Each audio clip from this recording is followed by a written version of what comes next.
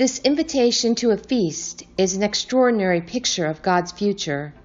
Thirst quenching waters, flowing wine, sweet milk, and rich food are all free, offered without price, without cost. We can almost imagine God here as a vendor crying out in the market about this rich fare being sold, but without a price. This is certainly a different type of transaction, signaling an alternative economy, one characterized by pure grace, joy, and life.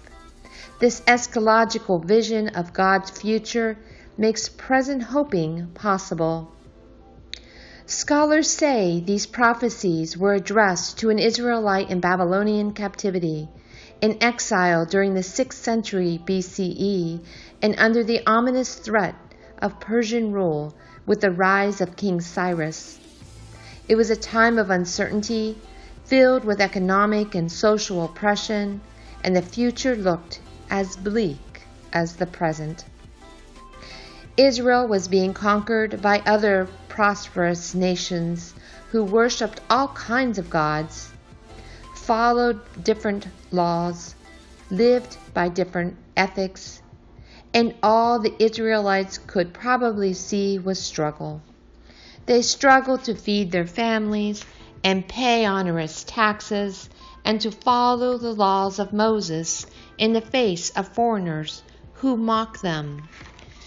Against this struggle to still believe that God was the gracious sovereign of the world, the prophet Isaiah imagines a free feast of, food, of rich food and wine for everyone. We long for the opportunity to buy without money and without cost. This vision of God's future is, a, is all a gift. In her version of He's Got the Whole World in His Hands, Mahalia Jackson adds a poignant verse. She sings, If religion was a thing money could buy, the whole wide world in his hand.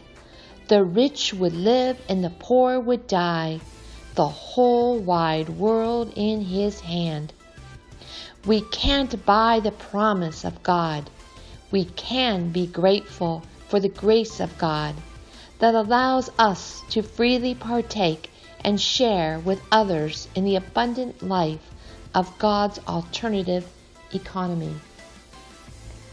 Hope is rooted in reality, in what is, not in avoidance. Real hope provides the courage to face whatever chaos and trauma life throws at us. Hope does not try to avoid pain of finite existence, nor is it naive about suffering. Hope also, however, not only faces reality, hope imagines possibilities.